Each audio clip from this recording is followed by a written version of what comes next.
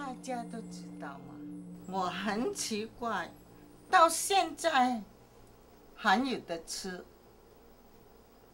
儿子，这么多年来，我辛辛苦苦的把你养大，让你有最好的教育，等你赚钱回来养这个家。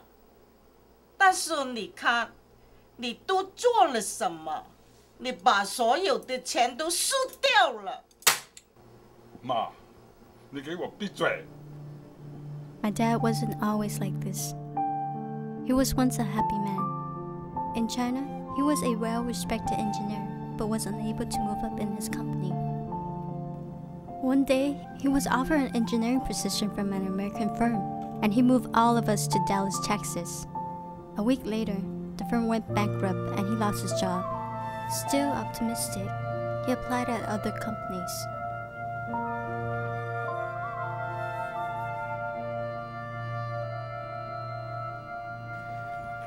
I'm sorry. We have no place for you. This this does not qualify as experience. You won't be able to be an engineer unless you get a degree from an American school.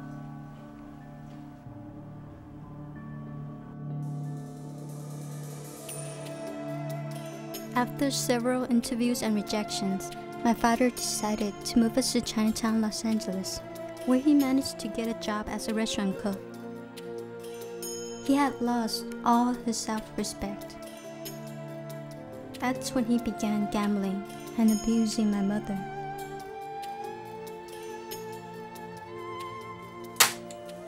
Ma, 你给我闭嘴！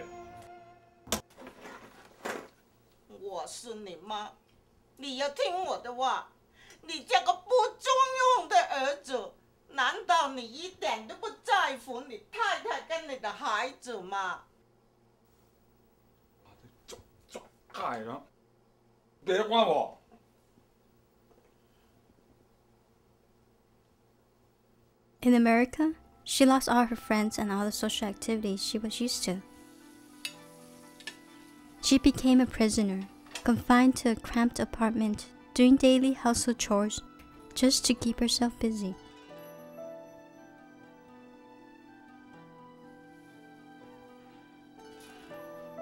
怎么现在才回来？你晓不晓得？你去买东西的时候，我在家里一直都打扫卫生。你看看我的手，我有多辛苦啊！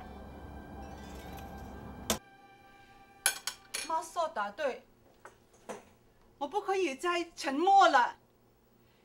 你不要赌了，我看你都疯了。疯了！你说我疯了，你竟敢这样跟我说话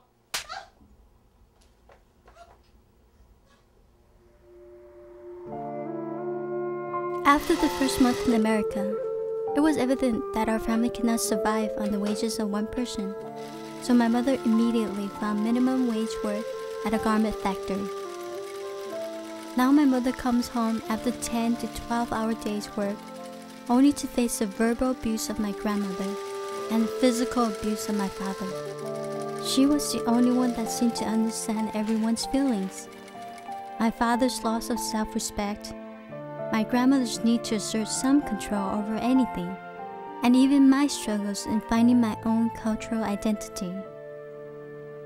Despite her teachings and previous outspoken self, she became quiet. For the sake of the family, she kept in everything.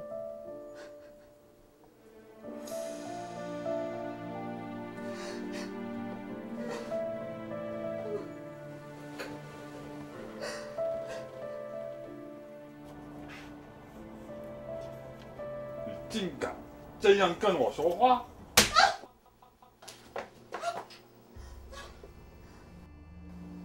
你不许回来！我受够了。怎么你现在想威胁我？你想杀我？好怕！啊？I was 11 when I first started school in America. School in America was completely different. Not only was the culture foreign, but I didn't know the language, and the children found many ways to tease me. I learned to block them all out, and like my mother, kept all my feelings inside to protect myself. It was when I entered high school that my English teacher thought I was depressed or antisocial because I wouldn't speak in class. My teacher referred me to counseling. None of the school counselors wanted to see me because they couldn't speak Chinese, so they then referred me to counselor Tina Cho, who worked out of her home. I understand you don't like to talk to others, and you don't have to talk to me if you don't want to. But I hear you're a pretty good writer, and I want you to tell me about yourself, your family, or your life through stories. 可以吗? Write me a story once a week and put it in my mailbox, okay? Great.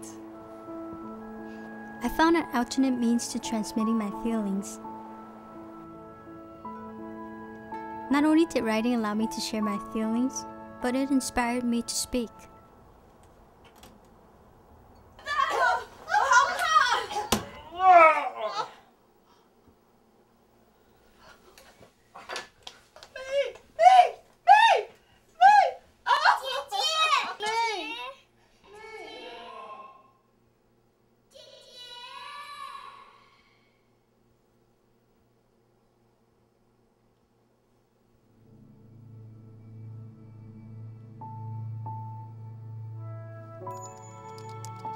I was only six years old, but I can remember vividly the night that changed our lives forever. Since that night, nothing has been the same. I am a second generation American born Chinese. As an ABC, I have a dual identity. I am both Chinese and American. Every day, I must struggle with the generation gap between me and my parents. Though the adversity I face today cannot be compared to that of my parents, the struggles still remain. This is the story of a family of Chinese immigrants. This is my story. It continues on.